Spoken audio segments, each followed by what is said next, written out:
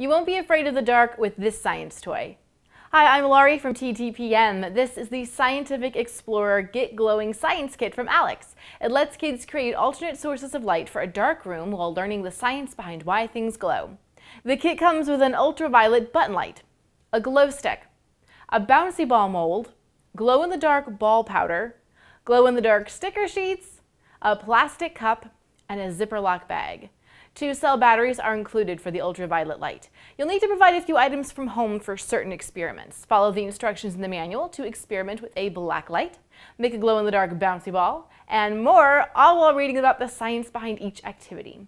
This kit would be a fun hands-on introduction to science for young kids ages 6 and up. Most of the experiments are very easy to do. Some, such as the one with the sticker sheet, only involve holding the stickers up to a light source and then turning out the lights to watch them glow. Behold phosphorescence at work!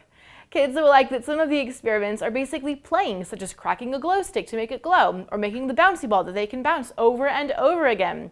They will also like watching everything glow when they turn out the lights.